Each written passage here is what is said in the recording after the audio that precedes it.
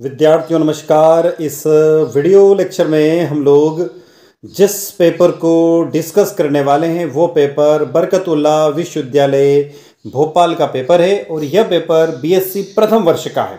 आधार पाठ्यक्रम है। साथियों, आप लोग अच्छे से जानते हैं कि BA, BSc, BCom B B A B C A B H S C सभी कक्षाओं के प्रथम वर्ष के आधार पाठ्यक्रम का जो सिलेबस है, वो सेम है, यानी अलग अलग नहीं है। तो हम लोग बात करते हैं यहाँ पर पेपर फ़र्स्ट फाउंडेशन कोर्स का। यह पेपर तीन जून 2023 को बरकत उल्ला विश्वविद्यालय के अंतर्गत आने वाले महाविद्यालय यानी कॉलेज के अंदर हुआ था। तो फाउंडेशन कोर्स का पेपर फ़र्स्ट है और इसके अंदर हम लोग देखने वाले हैं हिंदी लैंग्वेज के 50 प्रश्नों का सॉल्यूशन और इसी प्रकार से English language and Indian culture के भी 50 प्रश्नों का सॉल्यूशन। तो साथियों, अब हम चलते हैं सीधे स्क्रीन की ओर। और, मैं स्क्रीन से हट जाता हूँ ताकि आपको सभी क्वेश्चन सिस्टमेटिक और सही सही दिखाई दे और इन सॉल्यूशन को हम लोग अब देखते हैं। साथियों पहला प्रश्न आपको दिखाई दे रहा है मैथिली गुप्त का जन्म कब हुआ?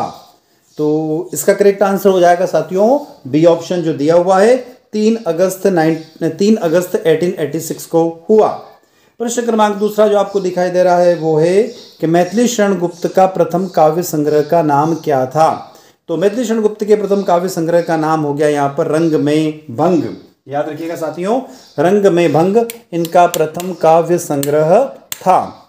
ए ऑप्शन करेक्ट हो जाएगा। प्रश्न क्रमांक तीन, मातृभूमि का परिधान यानी वस्त्र क्या है? तो जो कविता है मातृभूमि, उसके अंदर एक लाइन आती है, नीलांबर परिधान हरित तट पर सुंदर है। तो उसमें यहाँ पर हो गया, यहाँ पर सीधा सा ऑप्शन हो गया कि नीला आकाश। तीसरे का करेक्ट आंसर नीला आकाश बी ऑप्शन करेक्ट हो जाएगा। प्रश्न क्रमांक चार, निम्नलिखित में से किसे राष्ट्र कवि की उपाधि दी गई है? तो प्रश्न क्रमांक चार का करेक्ट आंसर मैथिली गुप्त सी ऑप्शन करेक्ट हो जाएगा। आगे चलते साथियों, प्रश्न क्रमांक पाँच, मातृभूमि का सिंहासन है। तो पांचवे का करेक्ट आंसर हो जाएगा शेष नाग का फन। प्रश्न क्रमांक छ, करते अभिषेक पयोध है। बलिहारी इस वेश की। इस, ये पंक्तियाँ कौन सी पोइम से ली गई है? तो छठे का करेक्ट आंसर है मातृभूमि कविता से ली गई है। छठे का करेक्ट आंसर बी। प्रश्न क्रमांक सात, हंस पत्रिका का प्रकाशन किसने आरंभ किया था? तो प्रश्न क्रमांक सात का करेक्ट आंसर हो जाएगा बी, ऑप्शन मुंशी प्रेमचंद ने कब किया था? तो 1930 में बनारस से प्रारंभ किया था। प्रश्न क्रमांक अगला जो दिया हुआ है, सात के बाद आठ, शतरंज के खिलाड़ी कहानी के माध्यम से क्या दिखाया गया है? तो साथियों, प्रश्न क्रमांक आठ का करेक्ट आंसर है ए, भारतीय शासकों का पतन दिखाया गया है। प्रश्न क्रमांक नौ, मीर और मिर्ज़ा किस वर्ग से संबंधित थे? तो नौवे का करेक्ट आंसर सी उच्च कुलीन वर्ग से संबंधित थे। प्रश्न क्रमांक दस, मीर बिगाड़ू नाम किसने रखा? तो मिर्ज़ा की बेगम ने रखा। तो प्रश्न क्रमांक दस का करेक्ट आंसर सी प्रश्न क्रमांक ग्यारह, मुंशी प्रेमचंद आरंभ में किस भाषा में लिखते थे? तो ग्यारहवें का करेक्ट आंसर हो जाएगा उर्दू भाषा में। डी ऑप्शन करेक्ट हो जाएगा। प्रश्न क्रमांक बारह, शतरंज क्या खेल मीर और मिर्ज़ा की किस प्रवृत्ति को दिखाता है? तो बारहवें का करेक्ट आंसर साथियों, यहाँ पर जो दिया हुआ है, वो है ऑप्शन सी विलासिता के बारे में दिखाता है। प्रश्न क्रमांक तेरह, यत्र तत्र सर्वत्र किसकी रचना है? तो ये है शरद जोशी की। तो तेरह का करेक्ट आंसर बी प्रश्न क्रमांक चौदह, जीप पर सवार इल्लियाँ पाठ के लेखक कौन हैं? तो डेफिनेटली कौन होंगे? इससे पहले वाला प्रश्न डायरेक्ट कनेक्ट हो रहा है तो शरद जोशी। चौदह का correct answer A Sharad Joshi. पंद्रह प्रश्न क्रमांक पंद्रह एकादा मित्र कैसा होना चाहिए? एकादा मित्र कैसा होना चाहिए? तो एक आधा मित्र, आपके जितने भी मित्र, उसमें से एक आधी मित्र कैसा होना चाहिए साथियों? तो बुद्धिमान होना चाहिए। पंद्रह करेक्ट आंसर सी। प्रश्न क्रमांक सोलह, किसान हाथ जोड़कर कांपने लगा। किसान को किसका भय था? प्रश्न क्रमांक सोलह का करेक्ट आंसर यहाँ पर हो जाएगा, साथियों। कौन सा? ए, खेत उजड़ जाने का भय था। आगे चलते प्रश्न क्रमांक सत्रह, शरद जोशी का जन्म कब हुआ? तो करेक्ट आंसर बी 21 मार्च 1931 को। Twenty first March nineteen thirty first को हुआ।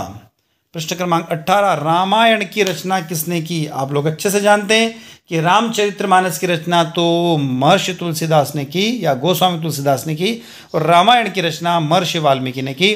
तो अट्ठारहवें correct answer B Valmiki ji ने।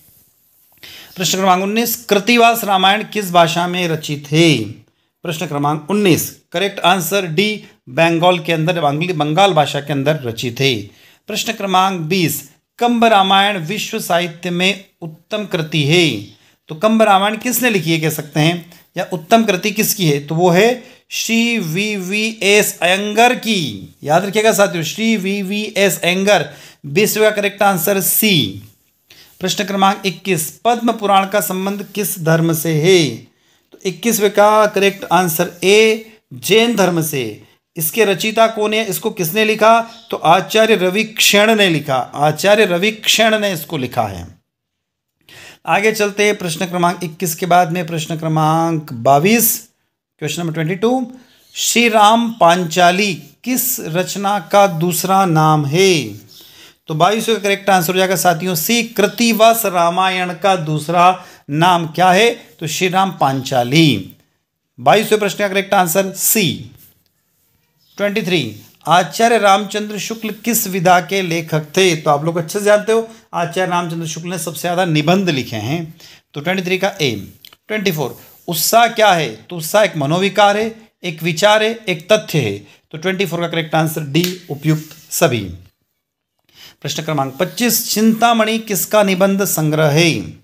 प्रश्न क्रमांक twenty five C Acharya Ramchandra Shukla का। प्रश्न क्रमांक छब्बीस, उत्साह के भेद किस आधार पर किए गए हैं? तो छब्बीसवें करेक्ट आंसर साथियों, कष्ट या हानि के आधार पर उत्साह के भेद किए गए हैं तो छब्बीसवें करेक्ट आंसर ए, कष्ट हो जाएगा। याद रखिएगा, छब्बीसवें का करेक्ट आंसर ए, कष्ट। क्वेश्चन नंबर ट्वेंटी सेवन, प्रश्न क्रमांक सत्तावीस, निम्नलिखित में से कौन सी रचना आचार्य रामचंद्र शुक्ल की नहीं है? तो सत्ताईसवें प्रश्न का correct answer D Godan. Godan किसकी है? तो मुंशी प्रेमचंद की। प्रश्न क्रमांक अट्ठाईस रामदारी सिंह दिनकर का जन्म कब हुआ? ट्वेंटी एट क्वेश्चन, हिंदी का। प्रश्न क्रमांक अट्ठाईस, ऑप्शन बी चौबीस सितंबर नाइनटीन ज़ीरो एट। चौबीस सितंबर उन्नीस सौ आठ को हुआ। प्रश्न क्रमांक उनतीस कौन सी रचना रामदारी सिंह दिनकर की है? उनतीसवें प्रश्न करेक्ट आंसर ए परशुराम की प्रतिज्ञा। प्रश्न क्रमांक दस सॉरी प्रश्न क्रमांक तीस। दिनकर की काव्य शैली किस रस की प्रधानता रखती है? तो दिनकर जी ने जितने भी काव्य रचना की है, वो सब कौन से रस की प्रधानता रखती है? तो वीर रस के बारे में बात करती है। वीर रस के बारे में बताती हैं। क्वेश्चन नंबर थर्टी फ़र्स्ट, प्रश्न क्रमांक इकतीस। प्रकृति ने भारत के किस प्रकार खंड किए हैं? तो इसके ऑप्शन ए और बी दोनों करेक्ट है। हिमालय के दक्षिण से उत्तर विंध्य तक और विंध्य से कृष्णा नदी के उत्तर तक, फिर कुमारी अंतरदीप तक का भाग। तो इकतीस का करेक्ट आंसर सी, ए और बी दोनों। प्रश्न क्रमांक बत्तीस, विविधता का सबसे बड़ा लक्षण क्या है? तो हम लोग जानते पूरे भारत में किस बात की विविधता है। कल्चरल तो है ही सही, सबसे ज़्यादा विविधता होती है भाषा की विविधता। तो प्रश्न क्रमांक बत्तीसवें करेक्ट आंसर ए, भाषा। क्वेश्चन नंबर थर्टी थ्री प्रश्न क्रमांक तैतीस क्या कह रहा है? ये कह रहा है कि आदि शंकराचार्य का जन्म कब हुआ? तो इनका जन्म 508 से 509 ईसा पूर्व हुआ, यानी कि इसको ईसा पूर्व को कन्वर्ट करें 508 509 को तो आठ सौ बैया eight two two. Eight twenty two ईस्वी में हुआ। Correct answer B eight two two ईस्वी। थर्टी फोर आदि शंकराचार्य की मृत्यु किस वर्ष में आई हुई? तो ये हम लोग जानते बहुत अल्प आयु के थे। थर्टी टू ईयर में इनकी डेथ हो गई थी। Question number thirty five Brahma सत्य है, जगत मिथ्या है। यह कथन किसका है? एक सिद्धांत किसका है? तो आदि शंकराचार्य का कथन है ये, पैंतीसवें का बी छत्तीसवा प्रश्न थर्टी सिक्स कौन सा अमृत का पर्यावाची नहीं है? तो अमृत का पर्यावाची कौन सा नहीं है? थर्टी सिक्स का यहाँ पर हो जाएगा वरी। थर्टी सेवन इच्छा का पर्यावाची क्या है? मनोरथ, अभिलाषा, सभी है तो उपयुक्त सभी हो जाएगा। प्रश्न क्रमांक थर्टी एट परस्पर विपरीत अर्थ व्यक्त करने वाले शब्द को क्या कहते हैं? विलोम शब्द कहते हैं। थर्टी एट का ए थर्टी नाइन, रीत शब्द का विलोम क्या है? बहुत शानदार प्रश्न। पूरे पेपर में साथियों, ये प्रश्न बड़ा शानदार लगा मैं तो क्या है? चलते हैं उसकी तरफ़। थर्टी नाइन का करेक्ट आंसर क्या होगा? तो ए होगा। रीत का अर्थ होता है सत्य। याद रखिएगा, रीत का अर्थ होता है सत्य। तो यहाँ पर यहाँ पर लिखा हुआ है अनृत अनृत जो ए ऑप्शन दिया हुआ उसका अर्थ होता है झूठ। याद रखिएगा साथियों, झूठ। तो थर्टी नाइन का करेक्ट आंसर ए हो जाएगा। थर्टी नाइन का सही उत्तर ए अनृत। आगे चलते हैं। प्रश्न क्रमांक चालीस। जो कष्ट सहन कर सके, वाक्य के लिए एक शब्द में आप क्या लिखोगे? तो चालीसवें का करेक्ट होता है, कष्ट सहिष्णु आता है वर्ण। तो चालीसवें का करेक्ट आंसर बी सहिष्णु हो जाएगा। बी ऑप्शन करेक्ट है। फोर्टी वन दो बार जन्म लेने वाले के लिए एक शब्द आप क्या लिखोगे? तो फोर्टी वन का करेक्ट आंसर ए द्विज। फोर्टी टू व्यंजन से स्वर या व्यंजन के मेल से उत्पन्न विकार को क्या कहते हैं? तो साथियों फोर्टी टू का सी व्यंजन संधि कहते हैं। प्रश्न क्रमांक फोर्टी थ्री यद्यपि का सही संधि विच्छेद क्या है? तो यदि धन अपी। फोर्टी थ्री का भी करेक्ट आंसर सी प्रश्न क्रमांक फोर्टी फोर विपजला में कौन सी संधि है? तो व्यंजन संधि है। फोर्टी फोर का भी सी फोर्टी फाइव, यशो अभिलाषा में कौन सी संधि है? विसर्ग संधि है। प्रश्न क्रमांक फोर्टी सिक्स, अंतरंग में कौन सी संधि है? तो साथियों, अंतरंग फोर्टी सिक्स, सी विसर्ग संधि है। एक दिया हुआ है वर्ड, वत्थु सस्व धम्म। जैन धर्म का प्रवचन, एक लाइन दिख रही है, आपको मैं थोड़ा जूम कर देता हूँ। वत्थु सहावो धम्मो। जैन ग्रंथ का प्रवचन सार के अनुसार, इसका अर्थ क्या है? तो वस्तु का जो भी स्वभाव है, वही धर्म है। क्वेश्चन नंबर फोर्टी सेवन का करेक्ट आंसर ए हो जाएगा। आगे चलते हैं। क्वेश्चन नंबर फोर्टी एट अद्वैत से क्या तात्पर्य है? तो जीव ब्रह्मा तत्वतः एक है। फोर्टी एट का बी हो जाएगा। Forty nine concept of mind पुस्तक किसकी है? तो यह बी ऑप्शन लिजबर्ड लेली की पुस्तक है। प्रश्न क्रमांक पचास, उदारीकरण के क्या लाभ है? तो जीडीपी तथा विकास दर में वृद्धि, विदेशी निवेश में वृद्धि और गुणवत्ता में सुधार उपयुक्त सभी। साथियों, मैं आपको यहाँ पे छोटी सी इन्फॉर्मेशन दे दूँ कि आपको फाउंडेशन कोर्स अर्थात हिंदी और इंग्लिश दोनों मिलाकर पास होने के लिए सौ में से, यानी हंड्रेड मैक्स से आपको थर्टी फाइव मार्क्स का रिक्वायरमेंट होगा। पैंतीस नंबर लाने पर ही आप पास माने जाओगे। यदि आप पैंतीस से कम नंबर लेकर आते हैं तो आपको सप्लीमेंट्री आ जाएगी। प्रश्न क्रमांक एक, English language and Indian culture, part B. तीन तारीख को जो पेपर हुआ, उसका सॉल्यूशन देख रहे हैं हम लोग। साथियों, चैनल पर यदि आप नए हैं तो चैनल को सब्सक्राइब अवश्य करें। अपने दोस्तों तक इस वीडियो को शेयर करना ना भूलें और कमेंट बॉक्स में कमेंट करके ज़रूर बताएँ कि वीडियो आप लोगों को कैसा लगा। क्योंकि बड़ी मेहनत से हम लोग आंसर को सर्च करते हैं, ढूंढते हैं, उसके बाद में फिर वीडियो को रिकॉर्ड करते हैं और आप लोगों तक लेकर आते हैं। तो हमारी मेहनत का थोड़ा सा फल मिलना चाहिए तो आप सब्सक्राइब कीजिए और अपने दोस्तों तक इसको शेयर कीजिए। प्रश्न क्रमांक एक। बहुत बड़ा सरल सा प्रश्न है what is the full name of the M Gandhi तो मोहनदास करमचंद गांधी, पहले का बी आंसर करेक्ट हो। प्रश्न क्रमांक दो, प्रश्न क्रमांक दो दिया हुआ who was called M Mohandas Karam Gandhi sorry Mohandas Karamchand Gandhi to the father of the nation किस व्यक्ति ने यह कहा था कि महात्मा गांधी भारत के राष्ट्रपिता है? प्रश्न ये कह रहा है। तो साथियों, विचार करिए इस प्रश्न पे। बड़ा मस्त प्रश्न लगा, बड़ा अच्छा प्रश्न है। आपको मैं थोड़ा सा हिंट देने जा रहा हूँ। चलते आगे। चार जून 1944 की बात है। चार जून 1944 एक रेडियो प्रसारण हो रहा था, सिंगापुर से। और उस रेडियो प्रसारण को जो संबोधन कर रहे थे, उनका नाम था श्री नेताजी सुभाष चंद्र बोस। और श्री नेताजी सुभाष चंद्र बोस ने महात्मा गांधी को पहली बार राष्ट्रपिता के नाम से संबोधन किया था। तारीख बता देता हूँ मैं, चार जून 1944 को। एक रेडियो प्रोग्राम के दौरान ये बात कही गई थी। याद रखिएगा अच्छा प्रश्न है। प्रश्न क्रमांक तीन when the basic education was created बहुत बढ़िया प्रश्न है ये भी। प्रश्न क्रमांक तीन का करेक्ट आंसर है, साथियों 1937 कौन सा साथियों 1937 तीसरे का बी। प्रश्न क्रमांक चार in which magazine in which magazine education curriculum was published कब पब्लिश हुई थी? साथियों 1937 में द हरिजन नाम की एक पेपर निकला था। न्यूज़पेपर उसके अंदर एजुकेशन के बारे में पब्लिश हुई थी। एजुकेशन मैगजीन बोल सकते हैं उसको। एजुकेशनल पेपर था पहला वो।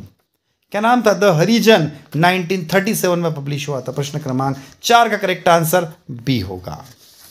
आगे चलते साथियों, प्रश्न क्रमांक पाँच की तरफ़ थोड़ा सा जूम कर रखा है मैंने, क्योंकि जो क्वेश्चन हमारे पास तक जो विद्यार्थियों ने पहुँचाए हैं, उसकी थोड़ी इमेज क्लियर नहीं आई है, इसलिए इस तरीके से थोड़ा सा ब्लर आ रहा है। प्रश्न क्रमांक पाँच, the wonder that was India written by तो ए एल भाषण इसका करेक्ट आंसर पाँचवें का करेक्ट आंसर सी हो जाएगा। प्रश्न क्रमांक छः की तरफ़ चल रहे who was written the book Gitanjali. तो बिल्कुल आप लोग जानते हो गीतांजलि बुक किसके द्वारा लिखी गई? तो रविन्द्रनाथ टैगोर के द्वारा। चटे का correct answer A R N Tagore प्रश्न क्रमांक सात in which language Gitanjali is written बहुत बढ़िया प्रश्न है अभी गीतांजलि जो पुस्तक है, उसको किस भाषा में लिखा गया है? तो साथियों, आप लोग अच्छे से जानते हो कि भारत में रविन्द्रनाथ टैगोर जो है, वो बंगाल के रहने वाले थे। तो डेफिनेटली कौन सी भाषा में लिखी होगी?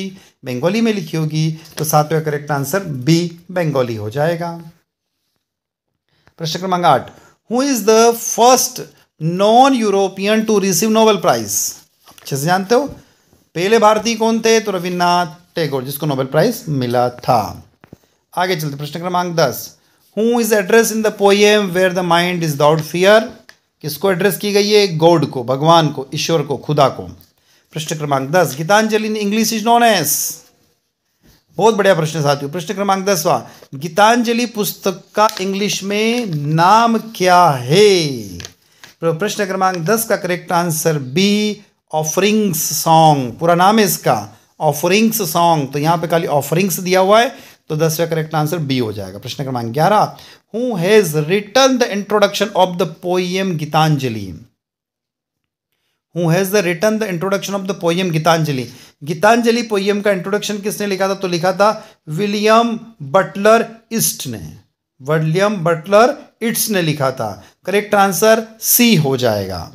प्रश्न क्रमांक बारह। द एक्स इज़ द क्या है? द एक्स एक स्टोरी है। बारह का डी हो जाएगा। साथियों, मैं बता दूँ कि हमने कोशिश करी है कि सभी प्रश्नों के आंसर आप तक व्यवस्थित और सही सही पहुंचाएँ। पर कभी कभी ये होता है कि जब हंड्रेड क्वेश्चन के आंसर हम सर्च करते हैं, हमारी टीम से हम बनवाते हैं, उसको रिकॉर्ड करवाते हैं तो कभी कभी क्या होता है कि रिकॉर्डिंग के दौरान या जब क्वेश्चन का आंसर सर्च किया जाता है, उस दौरान कभी कभी मिस्टेक हो सकती हैं। तो हम ये कह सकते हैं कि 99 परसेंट आंसर यहाँ पर करेक्ट है, एक या दो परसेंट मिस्टेक होने की प्रोबेबिलिटी है, संभावना है। प्रश्न क्रमांक तेरह का आंसर देखते हैं। Who's Forest told the Vallance would lives in a big house किसके कहने पर वो घर छोड़ के गया था? तो एस्ट्रोलॉजर के कारण वो घर छोड़कर गया था।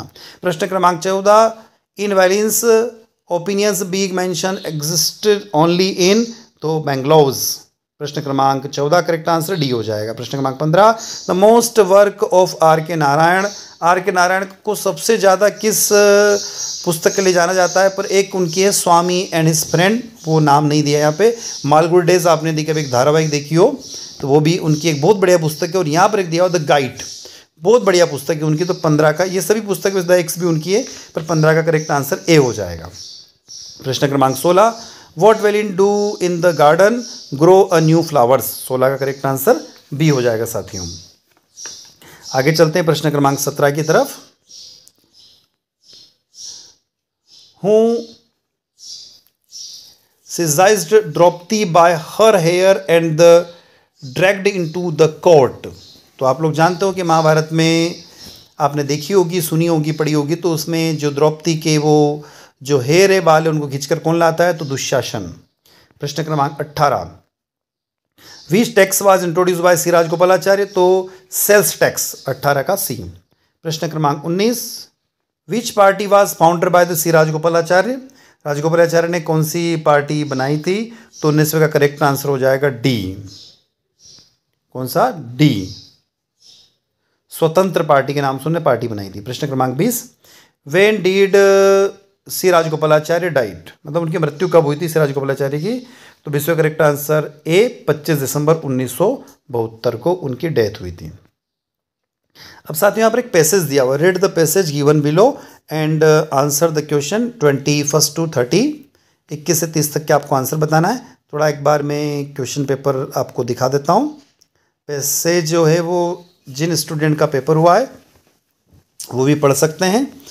पैसेज में दिया हुआ इस वीडियो को रोक कर आप पढ़ लीजिएगा। Sign scientist have the development of the gel the help brain recovery from the transmitting injury सब पूरा एक लंबा चौड़ा दिया हुआ है। तो आप इसको पढ़ लीजिएगा थोड़ा सा मैं सीधा आंसर की तरफ़ यहाँ से चलूँगा। तो ये अंसिम पैसेज जो दिया हुआ है, इसको एक बार आप रीड कर लीजिएगा वीडियो को रोक कर और मैं सीधा अब आंसर की तरफ़ चाह रहा हूँ। The injury sides also typically has limited blood supply and connectivity tissues which are the mites prevent donor cells from the getting ऐसा कुछ दिया हुआ है अब आपने वीडियो रोककर इसको पढ़ लेना है। उसके बाद मैं सीधा आंसर की तरफ़ चलता हूँ। प्रश्न क्रमांक इक्कीस। What kind of brain injuries can the gel mention in the passage cure तो इसमें कार एक्सीडेंट की बात हुई है। प्रश्न क्रमांक इक्कीस की बात करें तो। और गन शॉट की भी बात हुई और फॉल्स की भी बात हुई। तो इक्कीसवें करेक्ट आंसर आती हूँ? डी हो जाएगा। प्रश्न क्रमांक बाईस which animals has doctor Nings Jinks use to test her gel तो रेड्स चूहे के ऊपर उन्होंने परीक्षण किया था या करेंगे, ऐसा कुछ उसके अंदर उल्लेखित है। बाईसवें का करेक्ट आंसर सी हो जाएगा।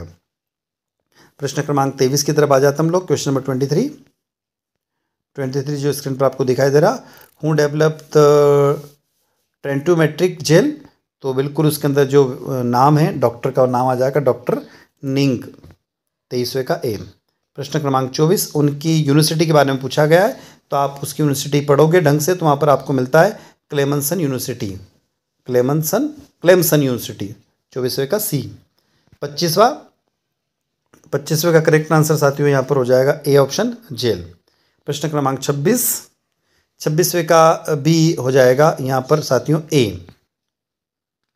आगे चलते प्रश्न क्रमांक सत्ताईस की तरफ़।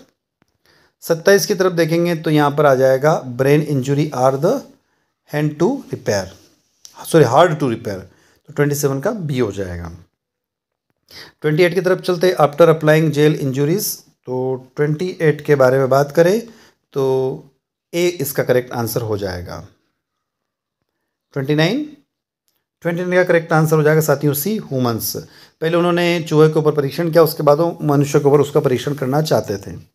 प्रश्न क्रमांक तीस का करेक्ट आंसर हो जाएगा ए लिमिटेड ब्लड सप्लाई तो ये तो अंसिम पैसेज के आंसर थे। अब चलते हैं प्रश्न क्रमांक इकतीस क्वेश्चन अंसिम पैसेज के ये दस प्रश्नों में से एक आधी आंसर गलत हो सकता है। मैं श्योर नहीं हूँ। ध्यान रखिएगा। और हमने कोशिश करी है कि आंसर सभी आप तो करेक्ट पहुँचे प्रश्न क्रमांक thirty first the doctor performed an operation thirty first का बी आंसर करेक्ट होगा. थर्टी फ़र्स्ट का बी इकतीसवें का बी अब चलते बत्तीसवा प्रश्न. She should be thirty three की बात हो रही है. थर्टी टू क्वेश्चन आपने रीड आउट कर लिया होगा, पढ़ लिया होगा. करेक्ट आंसर हो जाएगा साथियों इसका ऑफ़ प्रश्न क्रमांक thirty three neither her nor his servants thirty three का B have left thirty four Ramesh goes to school daily thirty four का B thirty five she was worked when I reached home A option correct thirty five का thirty six thirty six correct answer हो जाएगा B side B option correct होगा। चलते question number thirty seven की तरफ़। Thirty seven. क्या question कह रहा है? One who hates women is called जो महिलाओं से नफरत करे, उसको बोलते हैं मिसोजनिस्ट थर्टी सेवन का C correct answer misogynist thirty eight. English is spoken all over the world thirty eight का डी आंसर होगा। Thirty nine. After lunch, let go out for a coffee. तो साथियों, इसका आंसर आप वैसे पढ़ाओ prepositions होना चाहिए, पर करेक्ट आप कमेंट बॉक्स में इसका आंसर कमेंट करके ज़रूर बताइएगा। क्वेश्चन नंबर फोर्टी इसको भी आप कमेंट बॉक्स में कमेंट करके बताइएगा। जैसे कंजक्शन इसका आंसर होना चाहिए, पर एक बार आप कंफर्म करके बताइएगा इसको। Forty one noun is the name of person place and things forty one का करेक्ट आंसर डी हो जाएगा। आगे चलते हैं। Forty two which of the following word does not have full as a suffix तो फोर्टी टू का correct answer साथियों यहाँ पर हो जाएगा सी हैंसफुल नहीं होता है। Forty three choose the word with incorrect suffix able तो विक्टोरिएबल फोर्टी थ्री का डी हो जाएगा। फोर्टी फोर फोर्टी फोर की तरफ़ चलते हम लोग, इसका करेक्ट आंसर हो जाएगा यहाँ पर डी कार्बोनेटेट फोर्टी फोर का B forty five forty five का हो जाएगा imaginary perfect sets of place उसको बोलते यूट्रोपिया यूट्रोपिया फोर्टी फाइव का ए आदर्श लोग होता है यूट्रोपिया का मतलब होता है आदर्श लोग फोर्टी फाइव का A option correct forty six, यहाँ पर हो जाएगा government by the wealthy is तो प्लू प्लूटोक्रेसी। फोर्टी सिक्स का ए मतलब धनाढ़ लोगों के लिए जो सरकार चलती है, उसके लिए बड़ा था प्लूटोक्रेसी। फोर्टी सिक्स का ए, आंसर करेक्ट हो जाएगा। Forty seven? फोर्टी सेवन का करेक्ट आंसर है साथियों, यहाँ पर C forty eight? Forty eight का करेक्ट आंसर साथियों, यहाँ पर ए वाई ई डब्ल्यू आगे चलते हैं। Forty nine? क्वेश्चन आप रीड आउट करिएगा। फोर्टी नाइन का करेक्ट आंसर हो जाएगा सी टायर और टायर और प्रश्न क्रमांक पच्चीस व आखिरी प्रश्न है, one who does not have mother and father, जिसके माता पिता दोनों नहीं होते, उसके वर्ड आता है यहाँ पर और फ़ैन और फ़ैन पचासवे का आंसर ए। तो साथियों, ये था तीन जून 2023 को बरकत उल्ला विश्वविद्यालय के अंतर्गत आने वाले कॉलेजों में हुए पेपर का सॉल्यूशन, फाउंडेशन, फ़र्स्ट हिंदी के 50 और इंग्लिश के 50 प्रश्नों का सॉल्यूशन इस वीडियो लेक्चर में हमने देखा। आई होप ये वीडियो लेक्चर आप लोगों को अच्छा लगा होगा अच्छा लगता है तो वीडियो को लाइक अवश्य करें, अपने दोस्तों तक शेयर करें और चैनल पर नए तो सब्सक्राइब अवश्य करें ताकि हमें एक मोटिवेशन मिलता रहे इस तरीके से हम आपके लिए नए नए वीडियो लेकर आते रहे। धन्यवाद, जय हिंद, जय भारत। मैं डॉक्टर दीपेंद्र कुमार शर्मा आपसे विदा लेता हूँ। नए वीडियो के साथ फिर आपसे मुलाकात होगी।